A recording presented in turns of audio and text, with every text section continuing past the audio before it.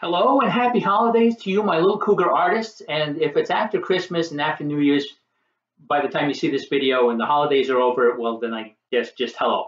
My name, for those of you who don't know who I am, I'm Mr. G. I'm the art teacher at Rouses Point Elementary.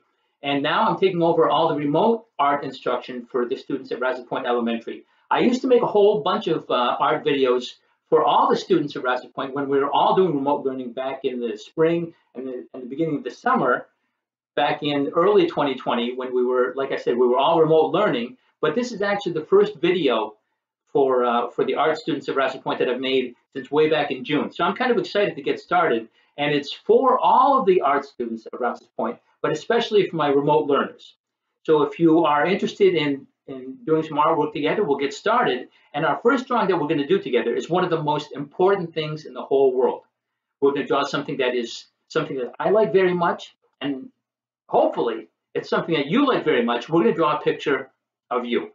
And anytime that you draw a picture of yourself, it's called a self-portrait. So if you got your pencil and your eraser and maybe some colors, we'll get started. And we're going to get started with a circle. Now my paper is much bigger than, than the paper that you're probably going to end up using.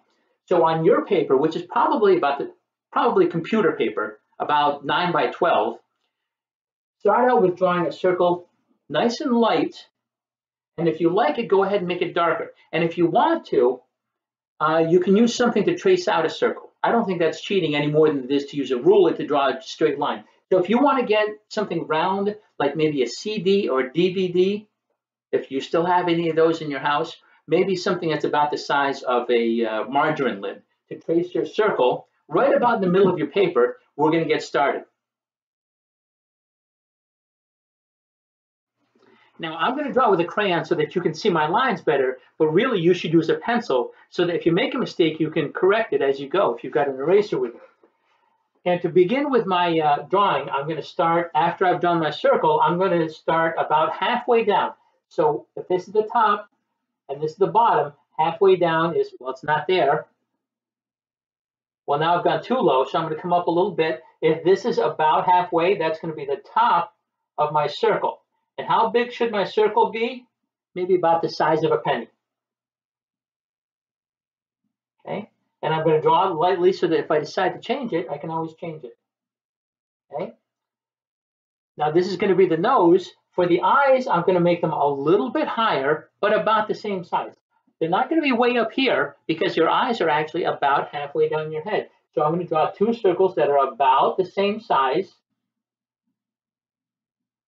as the circle that I just drew. And to make them look even more real, instead of just being circles, I'm going to draw two bigger circles, actually ovals, that start right at the bottom and then they just get bigger. So you've got a circle inside a circle. But both of the circles touch on the bottom. It's not a circle inside a circle. You can see how the big circle and the little circle are both touching on the bottom. Now we'll draw it over here.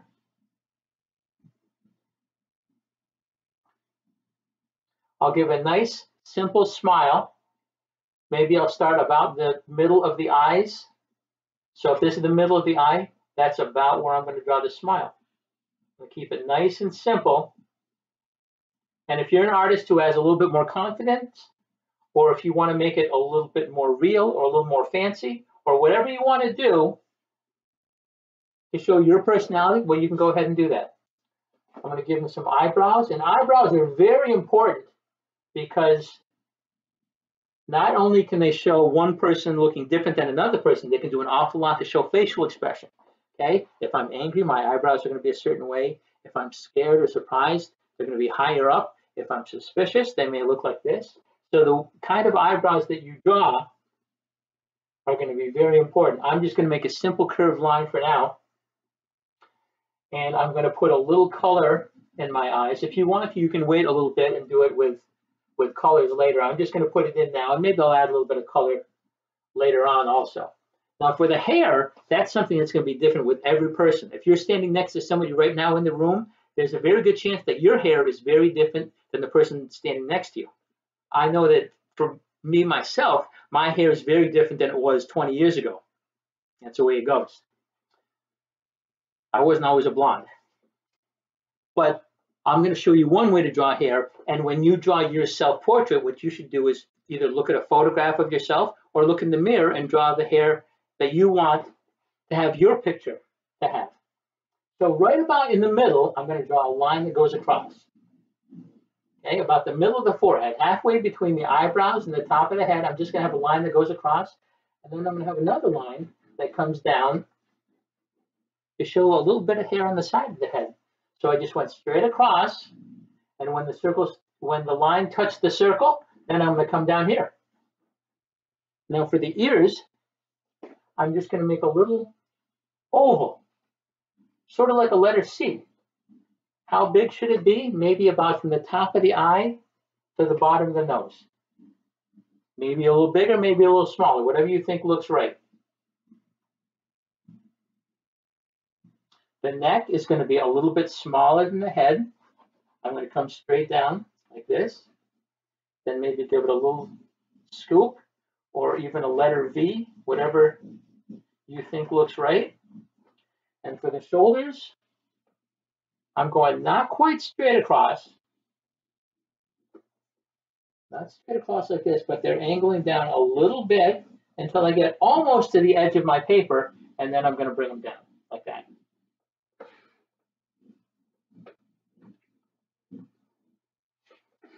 Okay, now if I'm drawing a boy, I'm just about done. If I want to make it a girl, there's a few changes that I that I'm going to make, and one is I'm going to draw a triangle right here that's touching another triangle. You can see how they're touching in the middle. The tips of the triangles are touching, and then I'm going to draw a circle right there. So now she has a bow in her hair. Maybe I'll draw the rest of that ribbon going around. And the hair, I'm just going to make the hair long. Now, sometimes boys have long hair. Sometimes girls have short hair. So whatever kind of hair you have, do your best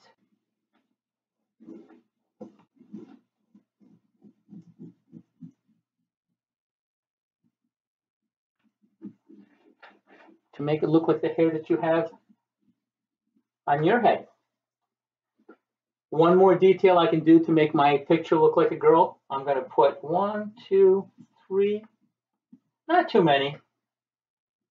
Just some eyelashes right here. And anything that I want to do to personalize my picture, maybe my person has a has a baseball cap or a football jersey or a cougar hoodie. Maybe my person has earrings. Whatever you think looks right to add some personality to your picture, that's what you should do. So as I finish putting in some of the details of my picture here,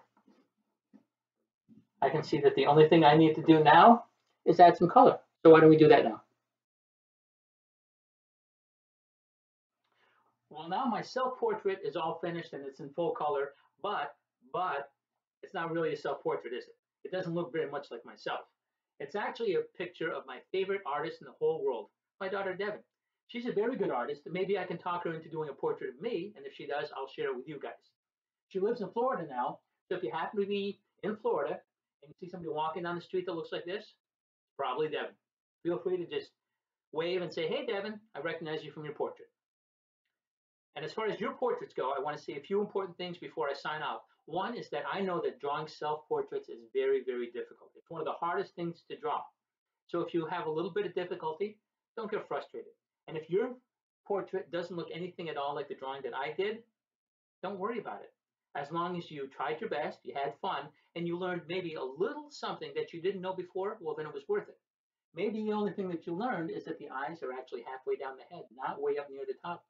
Maybe the only thing that you learned is that it's a good idea to draw lightly. That way, if you make a mistake, you can fix it before you move on. But whatever you do, if you keep practicing and you learn a little bit with each drawing that you do, I guarantee that you're going to succeed.